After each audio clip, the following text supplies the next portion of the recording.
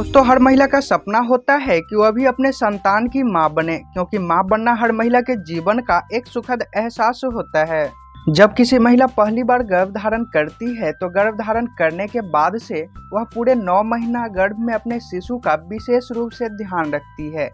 और जब वह अपने शिशु को जन्म देती है तो वहाँ से उनके जीवन में एक नई दौर की शुरुआत होती है। दोस्तों प्रेगनेंसी के पूरे नौ महीने के बीच गर्भवती महिला के मन में कुछ न कुछ सवाल हमेशा चलती रहती है। दोस्तों, जब डिलीवरी की समय नज़दीक आती है तो हर गर्भवती महिला के मन में यह जानने की उत्सुकता काफ़ी ज़्यादा बनी रहती है कि उनका होने वाला शिशु क्या होगा, लड़का होगा या फिर लड़की होगी।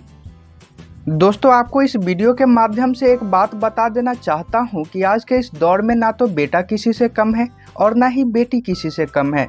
इसलिए आप सभी से अनुरोध है कि आप बेटा या बेटी में भेदभाव बिल्कुल भी ना करें। दोस्तों, यह वीडियो आपके जानकारी के लिए बनाई गई है। यह चैनल किसी भी तरह के लिंग भेदभाव को सपोर्ट नहीं करता है। दोस्तों, वैसे तो हमारे देश में समय से पहले भ्रूण का लिंग परीक्षण कराना एक तरह का गैर कानूनी अपराध माना गया है। इसके लिए आप किसी भी तकनीक की सहारा नहीं ले सकते हैं।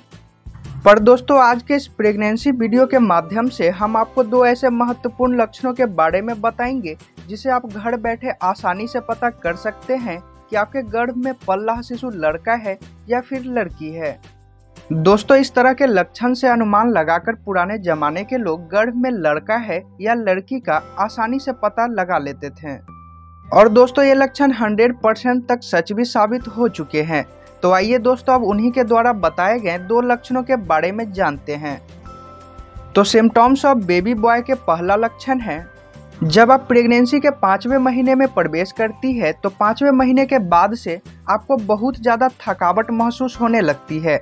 दोस्तों, ऐसा माना जाता है कि थकान की स्थिति में यदि आप बाईं तरफ़ यानी लेफ़्ट साइड करबट लेकर सोना ज़्यादा पसंद करती है तो यह बहुत ही अच्छा संकेत माना जाता है कि आपके गर्भ में पल रहा शिशु एक प्यारा सा लड़का ही होगा। और ठीक इसके विपरीत, यदि प्रेगनेंसी के दौरान आप दाई तरफ़ यानी राइट साइड करबट लेकर सोना ज़्यादा पसंद करती है तो यह बहुत ही अच्छा संकेत माना जाता है कि आप एक बेटी को जन्म देने वाली हो। आइए दोस्तों, अब सिम्टॉम्स ऑफ़ बेबी बॉय के दूसरे लक्षण के बारे में जानते हैं। तो दूसरा है हार्ट बीट ऑफ़ बेबी यानी आपके शिशु के धड़कन। दोस्तों प्रेगनेंसी के दौरान आपके डॉक्टर आपको हर तीन महीने पर एक अल्ट्रासाउंड करवाने की सलाह देते हैं, ताकि वह आपके शिशु के शारीरिक विकास एवं धड़कन को समय समय पर देख सके। दोस्तों, अल्ट्रासाउंड रिपोर्ट के अनुसार यदि आपके शिशु का हार्ट बीट यानी धड़कन 140 बीट पर मिनट है या फिर इससे थोड़ा कम रहता है तो इससे आप समझ जाएँ कि आप एक बेटे को जन्म देने वाली हो।